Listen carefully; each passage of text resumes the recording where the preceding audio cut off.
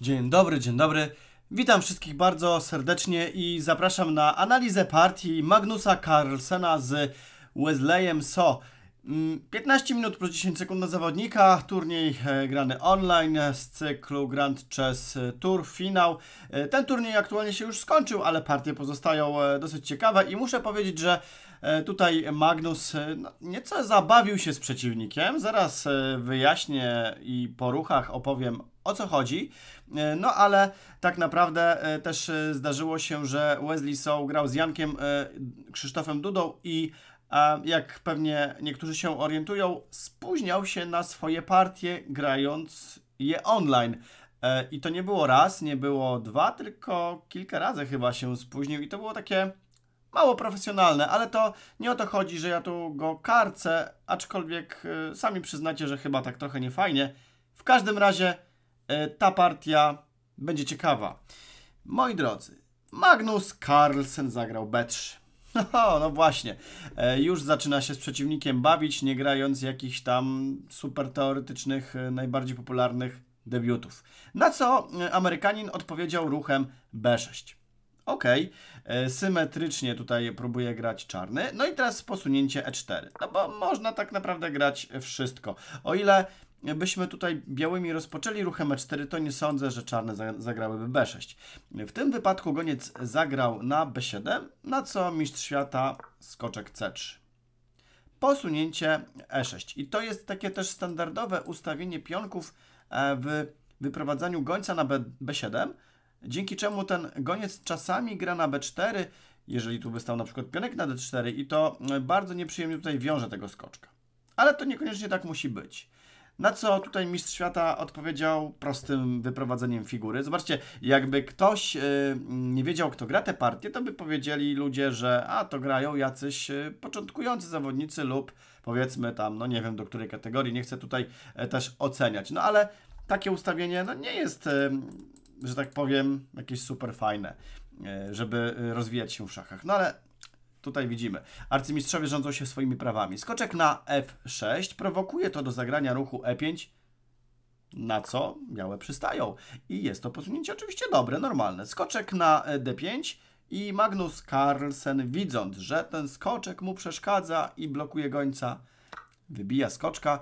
Goniec rzecz jasna wybija. No wi- wiadomo, że tutaj mamy też takie na przykład zagrania typu C4 z tempem, ale to są prowokacyjne ruchy, y, które, no, znaczy no, oczywiście można zagrać i można próbować grać D4, mając centrum, normalna pozycja.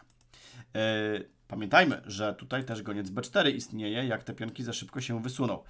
W tym momencie jednak Magnus Carlsen zagrywa hetman G4. No to jest takie standardowe zagranie na przykład w obronie francuskiej białymi i o co tutaj chodzi? Przede wszystkim e, staramy się uderzać w punkt G7 i e, troszeczkę przeszkodzić czarnym w wyprowadzeniu gońca i zrobieniu e, rozwoju, zrobieniu ruszady. Na co czarne odpowiadają bardzo dobrym ruchem, jest ruch H5, standardowy, gonimy tego hetmana. Hetman zagrywa na F4. Prowokuje przeciwnika do zagrania ruchu na przykład G5. E, Tutaj e, na przykład dobrym zagraniem byłoby prawdopodobnie, dobrym prawdopodobnie, ruch G6. Z tego względu, że goniec może sobie nieźle zatańczyć z tempem atakując hetmana, więc tak naprawdę ten hetman tutaj no, tańczy niepotrzebnie e, i prowokuje czarnych do jaki, prowokuje czarne do jakichś takich dziwnych zagrań. No i ruch G5 zostaje zagrany, co nie jest najlepszą odpowiedzią. Jak już wspomniałem, ruch G6 byłby zdecydowanie lepszym posunięciem. No ale jest G5, prowokacja się udała, te piony się nieco wysunęły. Jak ym, można powiedzieć, pionek H5, jak to jeszcze wygląda dobrze i normalnie, to już pionek G5 niekoniecznie może wyglądać dobrze. Hetman E3. No zobaczcie, Hetman zrobił taką e, ciekawą drogę. A wygląda to nieco dziwnie, trzeba przyznać, ale gramy dalej. E, nieco dziwnie, ale też e, na pewno e, mistrz świata ma mm, lepszy zmysł szachowy. No, niestandardowa pozycja, na pewno mu się łatwiej gra. Posunięcie A5, e, posunięcie A3, subtelnie. Chodzi o to, że jak będzie ruch A4, to my przepychamy tego pionka e, i pion A4 już nie spełnia takiej super roli. Goniec wrócił na B7, no i skoczek na F3 z wyprowadzeniem figury, posunięcie G4 z atakiem, no i skoczek do centrum. Dlaczego by nie? E, Zobaczcie jak to, ja tak trochę się uśmiecham, ale to bardzo niestandardowo wygląda i w większości partii, jakby tu Magnus Carlsen rozgrywał, to przypuszczam, że dałby radę. Przeciwnicy się po prostu gubią e, i Skoczek zagrał teraz na C6. Oczywiście nie wybijamy, nie upraszczamy pozycji przeciwnikowi, tylko skoczek B5 zajmuje świetną placówkę. To jest wykorzystanie też ruchu A5. Tutaj e, widać, że Norwek naprawdę potrafi, e, rozumie przede wszystkim szachy i potrafi to wykorzystać, co jest najważniejsze. Goniec zagrywa na, na H6. Hetman C3. Mega hetman niestandardowo sobie podziałał, ale to e, wszystko jest e, dobrze. Tutaj jest przede wszystkim taki mały nacisk na pole C7. E, bezpośredni, rzecz jasna. Goniec G7 z atakiem na pionka, no więc ruch D4 i teraz, moi drodzy, czarne grają D6 i to jest ruch po prostu zły. Wydaje się, że to jest dobre posunięcie, no bo e, chcemy otwierać gońca atakując hetmana. Skoczek podważa pionka, tutaj jest podważanie pionka i naprawdę wydaje się, że to jest dobre. Lecz jest słabe. Dlaczego? Otóż zwykłe wybicie pionka wybicie pionka, skoczek broni, wszystko fajnie działa i tak, takie subtelne podgryzanie, e, naprawdę tutaj Magnus robi to rewelacyjne, rewela, le, rewelacyjnie. Muszę przyznać, że jest to niełatwa sztuka. Ruch H3. Piękne wykorzystanie tego, że te pionki tak daleko zaszły i chcemy sprowokować mm, przeciwnika do wybicia wybić wieżą i utworzyć kolejną słabość na polu H5. Czarne y, dlatego decydują się na, na zagranie F5, co bardzo osłabia króla i teraz zaczyna się niezły taniec, moi drodzy. Pierwsze zagranie białymi, żeby... W ogóle tutaj jest świetny plan, fajna gra geometryczna i białe zagrywają następująco. Bicie na G4. Bicie na G4, bo tak trzeba. No bicie pionkiem z F byłoby bez sensu, pionek H5 słabe, tutaj prześwity na G6 i tak dalej. Ja mam nadzieję, że to jest zrozumiałe, moi drodzy. Ja tak troszkę skrótowo zaczynam tutaj teraz analizę. Um, I wieża wybiła na H8, goniec wybił na H8, hetman G3. Zaczyna się znowu taniec hetmanem. Ten, ten hetman poruszył się naprawdę wiele razy e, i już zaczynam liczyć, bo e, na G4 raz, na F4 dwa, trzy, cztery, pięć razy. Zobaczymy co dalej. E5 e ze strony czarnych, czyli tutaj trzymamy e, tego pionka. Szósty raz hetman zagrywa. Hetman H2, zobaczcie, atakujemy gońca, ale też e, możemy wtargnąć tutaj tym hetmanem. Widzimy, tutaj jest tak puste pole za stodołą. No te piosenki mi się kojarzą. Sorry, dobra, to była taka niepotrzebna wstawka. Lecimy dalej. Król D7 ucieka. Na co białe grają po raz siódmy hetmanem szach. Skoczek E7. Zasłaniamy się. Czarne starają się robić co mogą, żeby się bronić, ale wybitka. I okazuje się, że nie można zbić pionkiem ani gońcem, bo to się wszystko otwiera, a następnie długa roszada, wieża robi robotę. Tłumaczyć chyba nie trzeba. Hetman G8. Po raz ósmy zagrywa biały hetman na H6. 24 ruchy, 8 ruchów hetmanem.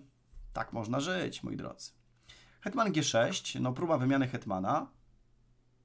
I ruch dziewiąty hetmanem, moi drodzy. Dziewiąty ruch hetmanem. Hetman D2. I wierzcie lub nie, So poddał partię. Poddał. 25 ruchów, 9 ruchów hetmanem. Dziękuję, dobranoc. O co chodzi? No, na pewno niektórzy powiedzą, no ale przecież warto grać do końca i tak dalej. Jasne, na tym poziomie y, wyczuwa się już zagrożenia i tu jest katastrofalna sytuacja dla czarnych z, z tego względu, że król jest w centrum, jest bardzo atakowany, y, wszystkie figury są aktywne, nawet goniec F1, on tu spełnia rolę bardzo ważną. Grozi jakby to nie zabrzmiało, długa roszada e, z wtargnięciem wieży na D1 i tu się robi bardzo gorąco. Ja przykładowo pokażę, jak na przykład mogłyby tutaj, e, przykładowo pokażę jak na przykład, ale pokażę e, czarnymi jakieś opcje. Na przykład D5. Ok, po tym posunięciu, nie król D1 absolutnie, tylko zrobilibyśmy tutaj e, oczywiście długą roszadę, goniec C6 na przykład.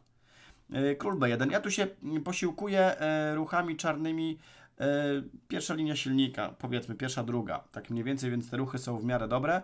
E, po biciu na e, B5 goniec mógłby zbić spokojnie, król C7 i teraz C4 moglibyśmy tu fajnie otwierać pozycję.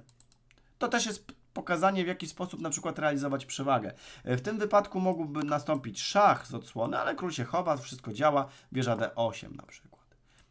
Bijemy. Bijemy, otwieramy pozycję, dosyć łatwa gra. E, tutaj wieża wy, mogła wybić hetman c1 z szachem, król b8 powiedzmy, wybicie, wybicie, hetman d1, subtelne zagranie z atakiem na skoczka. E, no, podważenie pionka, chociaż to jeszcze nie grozi, ale poskoczek c7, Tutaj nawet goniec d7 dobrze działa i tego pionka moglibyśmy spokojnie y, atakować. No ale po takim ruchu jak hetman d8, król b7, goniec d3. Piękna współpraca figur. No tu już y, kompletnie nie ma co grać. Tu się y, wszystko kończy. Goniec wisi, y, goniec atakuje i tak dalej, i tak dalej. Zresztą można było wcześniej też wziąć gońca. Moi drodzy, no super miniaturka, mm, małe utarcie nosa Amerykaninowi. Ja osobiście mm, bardzo lubię Wesleya So, lecz jego zachowania są takie no, czasami no, słabe i tyle. Profesjonaliści uważam, że powinni no, nie spóźniać się przede wszystkim na partię, no ale ludzie są tylko ludźmi, wybaczmy mu. Świetnie gra w szachy, więc trzeba na to głównie patrzeć. Dzięki serdeczne za oglądanie. Pozdrawiam, cześć.